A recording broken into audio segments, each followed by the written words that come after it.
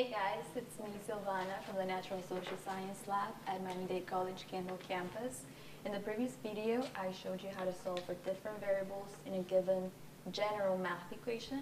Today I'm going to show you how to solve for variables in an actual chemistry equation.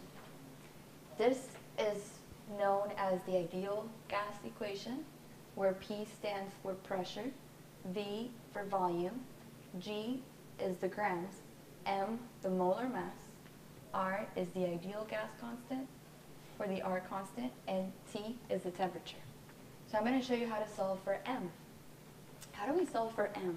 You guys remember from the previous video, since it's in the denominator, that means we have to bring it up to the numerator.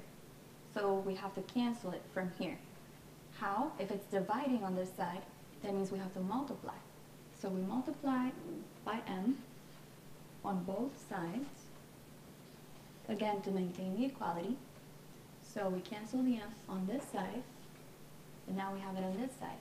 So rewriting this equation, we have m times pv equals g times r times t. But we still don't have m by itself. We need to have m by itself. So we need to get rid of the pv term here.